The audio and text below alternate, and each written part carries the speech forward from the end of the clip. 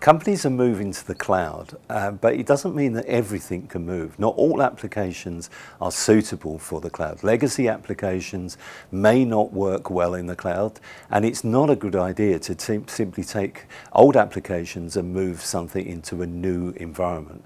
Uh, it needs to be considered very carefully before one does that. When moving applications to the cloud, it's important to understand the criticality of those applications. How often are they actually used? What storage is connected to the applications? Because it could be that you've got an application that really has very low usage and it doesn't make sense to move that forward into the cloud because it could end up costing you more money to do that.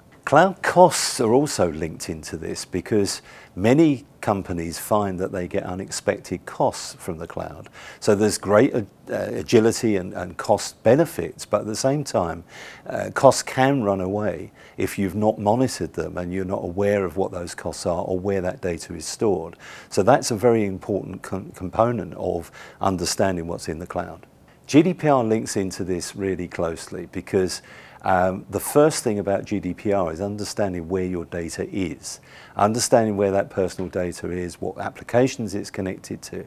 So getting a, a good handle on your entire environment, whether that's on premise, whether it's in the cloud, is a really fundamental component of GDPR.